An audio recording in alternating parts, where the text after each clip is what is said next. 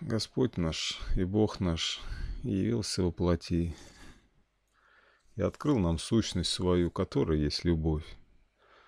Сам Бог есть любовь. Он и любит, Он и есть любовь. Господь изначально создал весь мир для человека. Прекрасный мир, красивый, интересный, радостный, веселый. Создал человека как венец своего творения. Поселил его на земле, сотворил для него даже пик блаженства, как Эдемский сад. Привел к нему всех животных, а точнее Господь вложил в души и в сущность, естественно, всего творения в мире любовь к тому, кто является образом и подобием самого Творца, к человеку. Люди ластились, любили человека. Что же сделал человек? Господь повелел ему господствовать над всей землей. Кто такой господин? Кто такой разумный господин? Кто такой Господь? Кто такой Бог? Бог есть любовь. Он не тиран. Значит, человек, получив дар господствовать над землей, получил право, обязанность заботиться и беречь то, что ему вменено. Господь наш не тиран, Он Бог любовь. А значит, и мы должны были любить все творение. Но что мы начали делать? Что начал делать Адам, Каин, Авель? И пошло-поехало. Приносить жертвы, животных в жертвы. Разве просил Бог Авеля приносить ему в жертву овечку? Нет. Разве Бог проливалась земля, кровь в раю? Нет. Какую заповедь дал Господь человеку и всем животным? Человеку сказал, все, что падает с деревьев, и все, что растет из земли, все это будет тебе в пищу. Что он повелел животным? Всю зелень травную, какую есть на всей земле, все это будет вам в пищу. Откуда же появилось зло? Ясно откуда, из сердец человеческих. Очевидно, что до потопа, до того, как Ной вышел из ковчега, животные любили человека, ластились к нему, дарили ему радость и любовь. И для глаз, и для ушей, и для рук, и ног его. Что сделало человечество? Стало разрывать животных живьем, приносить их в жертвы неведомому Богу. Разве просил об этом их Бог? Нет. Вы знаете, безумно смотреть на то, что мы с вами, люди, две тысячи лет после Рождества Христова, возможно, 6-7 тысяч лет от сотворения мира, до сих пор пребываем в таком безумии. Знаете, душа просто разрывается, глядя на все это. На злых людей, которые до сих пор ищут оправдание своим грехам. Я, говорит, поживу, ну что, я вот буду убивать убивать животных, пожирать их. Ну а потом я буду в раю. Бог же покрыл меня своей благодатью, спас меня, поверив в Него. Я потом пойду к батюшке под полотенчик и покаюсь. А потом я буду в раю. Правда, я с удовольствием убиваю животное, стреляю в него. Но я хочу в рай, я хочу к моему Господу. Вы знаете, Павел красивые слова сказал, не обманывайтесь. Бог поругаем не бывает. Что посеет человек, тот и пожнет. Каждый, заглянув в свое сердце, может увидеть, что там, кто там внутри, что его ждет в будущем. Вы знаете, что там увидит, как его называют, вегетарианец? Он увидит там рай. Там, где он любит животных. Там он и будет. Господь сказал, где сокровище твое, там и сердце твое будет. Там и ты будешь. Что в сердце убийцы животного? Скотобойни. Он будет там, где он хочет быть. Мы почему-то думаем, что Бог потом изменит природу. Ну, понятно, это протестантское, сатанинское учение.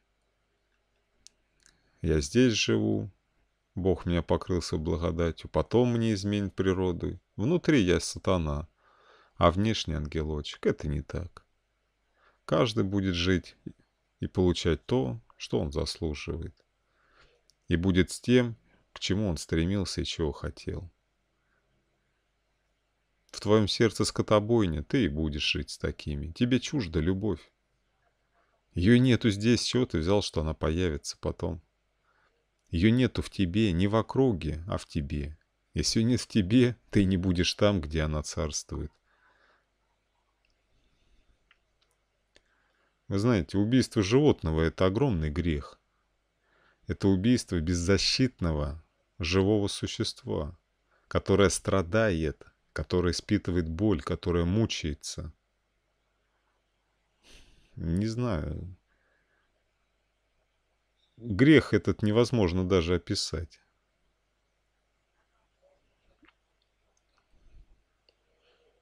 Мы всячески в жизни, даже в законах человеческих, пытаемся оправдать так называемую, а, как это называют, допущенную самооборону. Знаете, что нам делают домашние животные? Ничего плохого.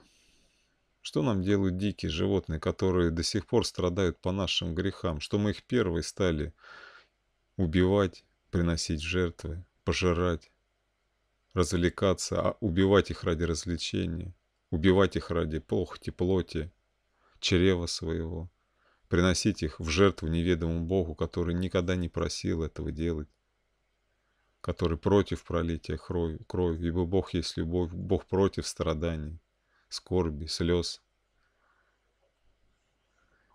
Неужели мы не можем понять, что весь мир и Бог, и каждый из нас ждет откровения детей Божьих, когда до нас дойдет? Что мы заквашим этот мир. И не важно, что все кругом так делают. Почему делаем так мы? Почему так делаю я?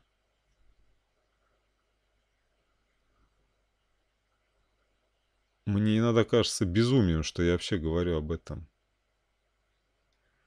Убивать невинное создание, невиновное, беспомощное, неспособное тебе ни дать сдачи, ни защититься. Ради чего?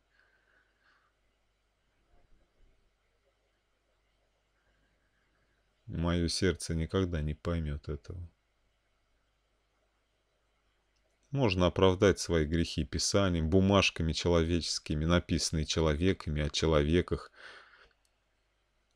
где словам Божьим, с устам Бога, истине Божьей приписано зло, боль, страдания, гнев, ненависть и злоба.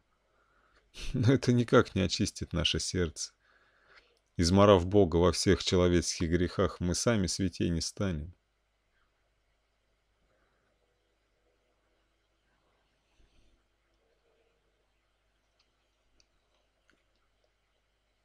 Как мы хотим быть в раю, если мы сами, если в сердце нашем ад?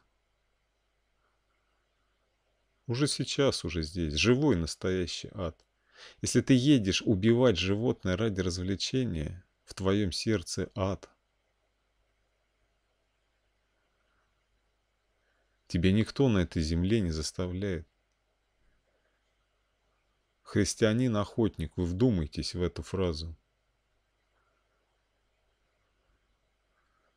Христианин-мясоед, трупоед. В мире куча еды. Сколько блюд можно приготовить из этого множества бесценных Божьих даров – того, что падает с деревьев и растет из-под земли.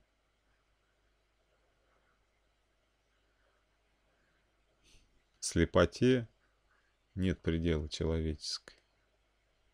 Жалко мне людей, которые самообманываются.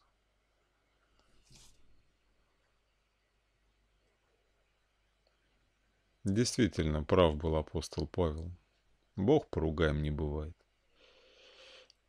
Все мы будем пожинать плоды того, что совершаем в этой жизни.